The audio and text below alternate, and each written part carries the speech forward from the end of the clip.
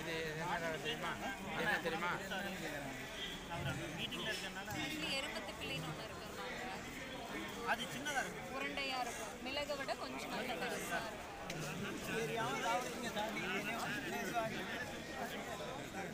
அவ்வளோதான் தட்டை காணாம போயிடும் பார்படா சரி அந்த ஸ்ட்ராபெரி அந்த மிக்சிங் டேஸ்ட்டில் யாருங்க இது நாலு இருந்து சாப்பிட்டு வரதுக்குள்ள ரெண்டா காணும்.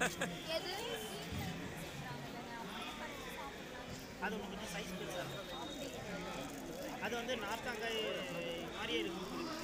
நீங்கள் சாப்பிட லேண்டு சேல் பண்ணாங்களாண்ணா